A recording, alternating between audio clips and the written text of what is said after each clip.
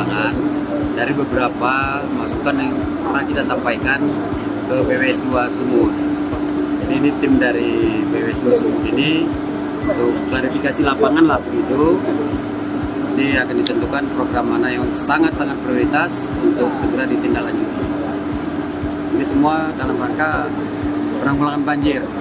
Walaupun proyek besarnya ada di Sudetan tadi ya, tapi sifatnya penanggulangan sementara ini juga akan ditindaklanjuti oleh BWS.